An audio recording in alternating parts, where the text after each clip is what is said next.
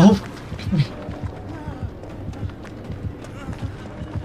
Steve's really getting thrown around today.